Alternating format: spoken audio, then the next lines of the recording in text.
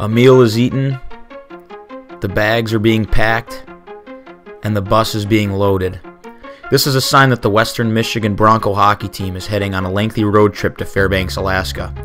Head coach Andy Murray knows the importance of team building on these types of lengthy road trips. Well, we're excited about this trip to Alaska. I mean, obviously, it's a, it's a lot of travel. Uh, we get to spend a lot of days together. I think it's really important for our team with uh, 10 first year players in our lineup. I think it's a great chance for those guys to become integrated with our team and get to know their teammates that much better. We're living together, we're staying in hotels, we're having all our meals together. So it should be great for team bonding. Obviously, when you win hockey games on this long road trip, it just reinforces that that much more. So we're excited about the trip. Obviously, a chance to go to Alaska, that doesn't happen all that often. So we're looking forward to that experience as well. A quick bus trip to Chicago, an overnight stay at the Spring Hill Suites, and just like that, it's an 8 a.m. flight from Chicago to Anchorage, Alaska.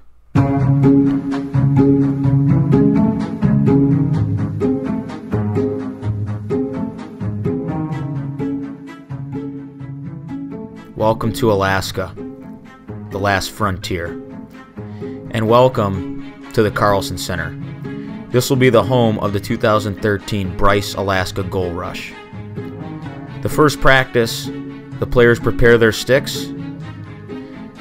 They have some fun playing some soccer, as well as some football.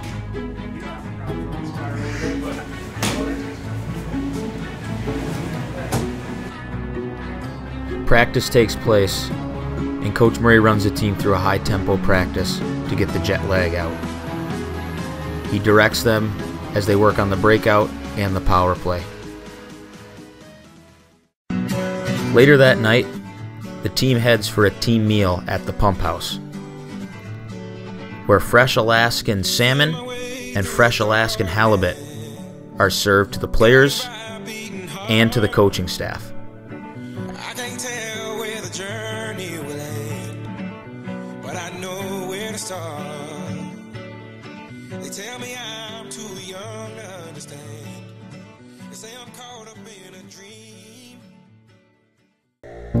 The next day, it's business as usual for Western Michigan. Guys, I'm, I'm going to challenge you here right now um, to recognize that this simply doesn't matter who the team is that we're playing this weekend. You know, we need to get ourselves in the right direction. And that's on the positive side of it. The hockey games where we're winning. Video is reviewed on what needs to be done to beat the Seawolves of Alaska shots. They are going to play their two on ones. They are going to have this guy come back down and play a little. So we're going to have to do a. But on those pucks and rebounds, they are going to go.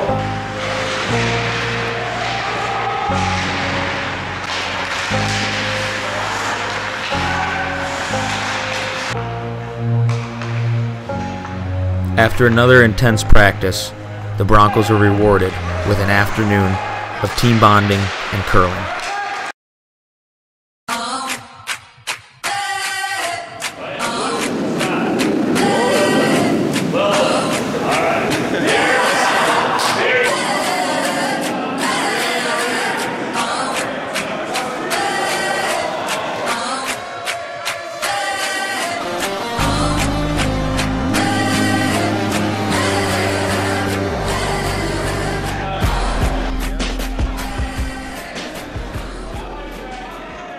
After curling, the team heads back to the hotel for a meal, and preparation begins for the game tomorrow against the Seawolves of Alaska Anchorage.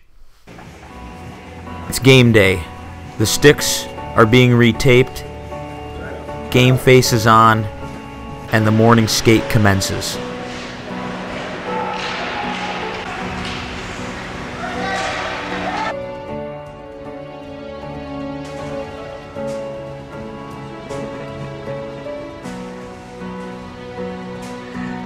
As the players begin to depart the ice surface, they head back to the hotel for a meal and a quick nap. It's quarter to two. The bus is loaded and the game faces are on. A team stretch is commenced with talks on what to do against the opponent this evening. As the players begin to get ready, the final adjustments are made by the coaching staff. Rituals are being taken place, as well as a quick bike ride to get loose. As the final pads are strapped and the jerseys are tugged on, the Western Michigan Broncos prepare for their warm up against the Seawolves of Alaska Anchorage.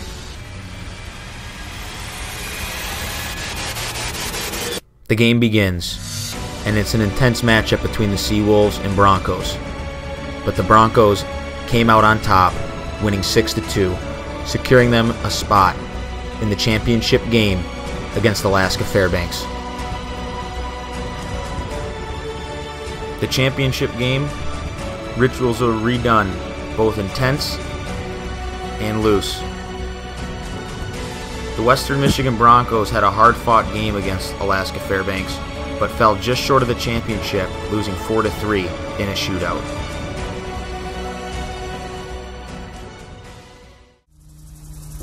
Sunday morning begins the long journey back to Kalamazoo. After a five hour layover in Seattle, it's time to depart for Chicago O'Hare. The Western Michigan Bronco hockey team has concluded their five day road trip to Alaska Fairbanks. The sound of silence, I can't take anymore. Hockey players are unlike any other types of players. Despite their blood, sweat, and tears, it doesn't show signs of weakness.